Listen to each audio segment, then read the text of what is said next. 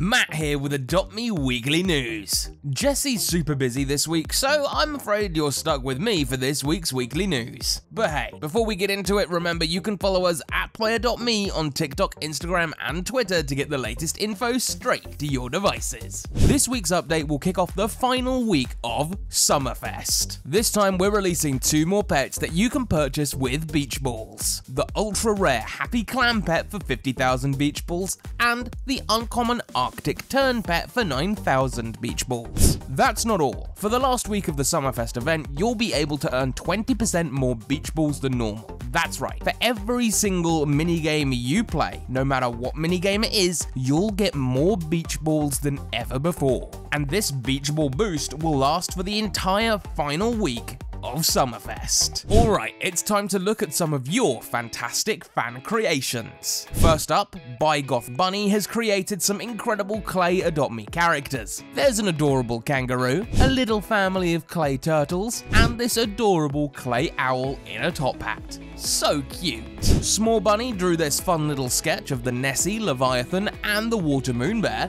Madonuts created this fantastic artwork of the Krabby Grabby minigame, though these crabs don't look too happy being tossed around. That's it for this week. Let us know in the comments how many beach balls you've managed to get so far. And if you haven't already, subscribe and hit the notification bell so you never miss an Adopt Me video.